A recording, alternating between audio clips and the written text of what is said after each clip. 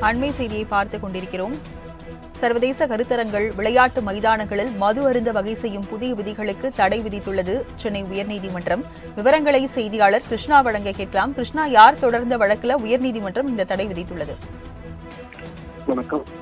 திருமண மண்டபங்கள் விருந்து மண்டபங்கள் வணிக வளாகங்கள் விளையாட்டு மைதானங்களில் மதுபானங்கள் பரிமாற வசதியாக தமிழ்நாடு மதுபான விதிகளில் திருத்தம் செய்து தமிழ்நாடு அரசு சிறப்பு உரிமத்தை அறிமுகப்படுத்தியிருந்தது. இந்த சிறப்பு உரிமம் உரிமம் பெற்றவர் மற்றும் உரிமைதாரரால் குறிப்பிடப்பட்ட இடத்தில் பொது நிகழ்ச்சிகளில் விருந்தினர்கள் பார்வையாளர்கள் மற்றும் பங்கேற்பாளர்களுக்கு மதுபானம் வழங்குவதை நோக்கமாக கொண்டுள்ளது சிறப்பு உரிமம் குறித்த அறிவிப்பு கடந்த இரண்டாயிரத்தி இருபத்தி மூன்று மார்ச் மாதம் உள்துறை மதுவிலக்கு மற்றும் கலால்துறையால் வெளியிடப்பட்டது.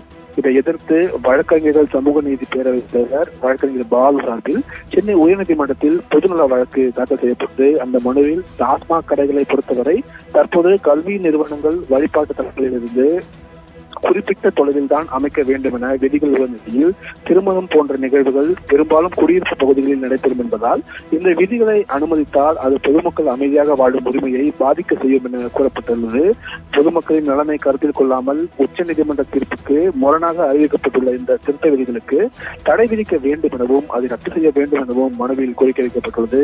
இந்த வழக்கு நீதிபதிகள் வைத்தியநாதன் மற்றும் நீதிபதி கலைமதி அமர்வில் விசாரணைக்கு வந்தபோது பொது இடங்களான திருமண மண்டபங்கள் உள்ளிட்ட இடங்களில் மதுபானம் பரிமாற வகை செய்யும் விதிகள் ரத்து செய்யப்பட்டு சர்வதேச கருத்தரங்குகள் விளையாட்டு நிகழ்வுகள் மட்டும் மதுபானம் பரிமாற உரிமம் வழங்கும் வகையில் புதிய அரசாணை பிறப்பிக்கப்பட்டுள்ளதால் அதை எதிர்த்துதான் வழக்கு தொடர முடியும் என தமிழக அரசு தரப்பில் ஆஜரான தலைமை வழக்கறிஞர் வாதிட்டார்.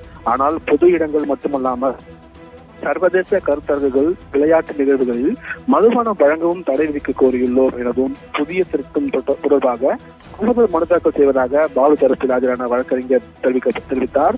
இதையடுத்து சர்வதேச கருத்தரங்குகள் விளையாட்டு நிகழ்வுகளில் மதுபானம் பரிமாறும் வகையில் உரிமம் வழங்குவது தொடர்பான அரசாணைக்கு இடைக்கால தடை விதித்து உத்தரவிட்டும் தமிழக அரசு பதிலளிக்கவும் உத்தரவிட்ட நீதிபதிகள் வழக்கின் விசாரணையை ஜூன் பதினான்காம் தேதிக்கு தள்ளி வைத்து உத்தரவிட்டுள்ளனர். லட்சுமி